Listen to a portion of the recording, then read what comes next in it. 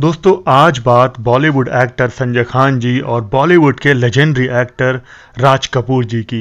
राज कपूर जी ने संजय जी से क्यों कहा कि एक हिंदू, एक मुसलमान दोनों पक्के पठान? संजय खान जी पर एक वीडियो मैं पहले भी बना चुका हूँ, जिसका आप लोगों ने बहुत अच्छा रेस्पॉन्स दिया था। इसके लिए आप सबका थैंक यू संजय खान जी ने एक फ़िल्म बनाई थी, चांदी सोना। इस फ़िल्म में राज कपूर जी का एक बहुत अहम रोल था। फ़िल्म की शूटिंग कंप्लीट होने के बाद संजय खान जी एक लाख रुपए कैश एक लिफाफे में लेकर पहुँचे राज कपूर जी के घर और उनसे कहा कि यह आपकी फ़िल्म का मेहनताना है। राज कपूर जी ये सुनकर बहुत नाराज़ हुए और उनसे बोले कि, संजय, अगर ये फ़िल्म शशि कपूर बनाता तो क्या मैं उससे पैसे लेता? ये पैसे तुम वापस रख लो। लेकिन संजय खान जी ने कहा कि, राज साहब, इसमें तो आपकी मेहनत लगी है, ये पैसे तो आपको रखने पड़ेंगे। तब राज कपूर जी ने कहा कि संजय, एक हिंदू, एक मुसलमान, दोनों पक्के पठान और पेशावरी पठान। मैं भी पेशावर से हूँ और तुम भी पेशावर से हो।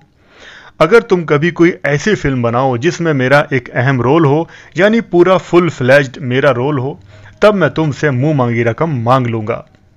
ये बात सुनकर संजय खान जी वापस आ गए और उसके कुछ सालों के बाद संजय खान जी ने एक फ़िल्म बनाने की सोची, नाम था अब्दुल्ला। अब्दुल्ला में राज कपूर जी का बहुत अहम और बड़ा रोल था। इसी रोल के लिए संजय खान जी राज कपूर जी के पास गए और उनसे सारा डिस्कशन किया। राज कपूर जी रेडी हो गए। तब संजय खान जी ने कहा कि राज साहब, इस फ़िल्म के आप कितने पैसे लेंगे? यह सुनकर राज कपूर जी की आँखों में शरारत जागी। राज कपूर जी लेटे हुए थे और छत की तरफ़ देख रहे थे। अचानक उन्होंने एक बड़ी रकम बोल दी। संजय खान जी ने कहा, ठीक है राज साहब, डन। लेकिन तभी राज साहब बोले कि संजय, मैं तो मज़ाक कर रहा था। इतनी बड़ी रकम मैं तुमसे नहीं ले सकता। लेकिन तभी संजय खान जी ने कहा कि राज साहब, आप ही ने एक दिन कहा था कि एक हिंदू, एक मुसलमान, दोनों पक्के पठान तो अब ये आपको मेरी बात माननी पड़ेगी और मैं आपको इतनी ही रकम दूँगा। और राज साहब ने संजय जी से ये भी कहा था कि हिंदू, मुसलमान की ज़ुबान बहुत पक्की होती है। तो यह बात सुनकर राज साहब बोले, ठीक है, डन।